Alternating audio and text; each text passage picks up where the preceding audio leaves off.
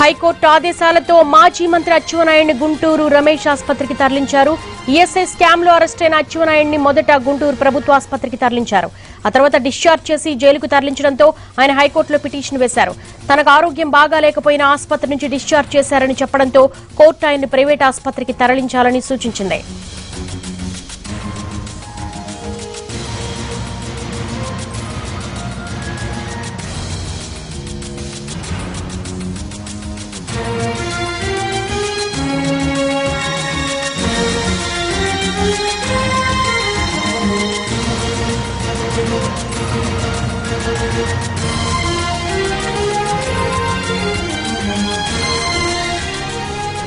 ESI స్కామ్లో arrest అయిన మాజీ మంత్రి టీడీపీ సీనియర్ నేత అచ్చెన్నాయుడు ప్రైవేట్ ఆసుపత్రికి తరలించాలని హైకోర్టు ఆదేశించింది.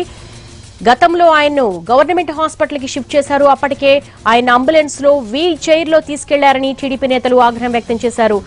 ఆయన ఆరోగ్య పరిస్థితి క్షీణించిందని ఆయన తరపు లాయర్ కోర్టులో పిటిషన్ వేశారు. ఈ పిటిషన్కు సానుకూలంగా స్పందించి తిరిగి ఆయన్ను గుంటూరు ప్రైవేటు ఆసుపత్రి రమేష్ హాస్పిటల్కు తరలించడం జరిగింది.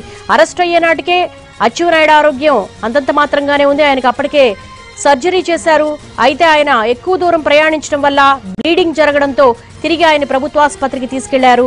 అయితే గుంటూరు ప్రభుత్వ ఆసుపత్రి నుంచి డిశ్చార్జ్ అయ్యే సమయంలో ఆయన ఆరోగ్యం ఏమీ బాలేదని ఆయన వీల్ చైర్లో తీసుకుని అంబులెన్స్లో తీసుకెళ్ళాల్సిన అవసరం ఏమొచ్చిందని చెప్పేసి టీడీపీ నేతలు ఆగ్రహం వ్యక్తం చేశారు. దీంతో హైకోర్టును ఆశ్రయించడం జరిగింది.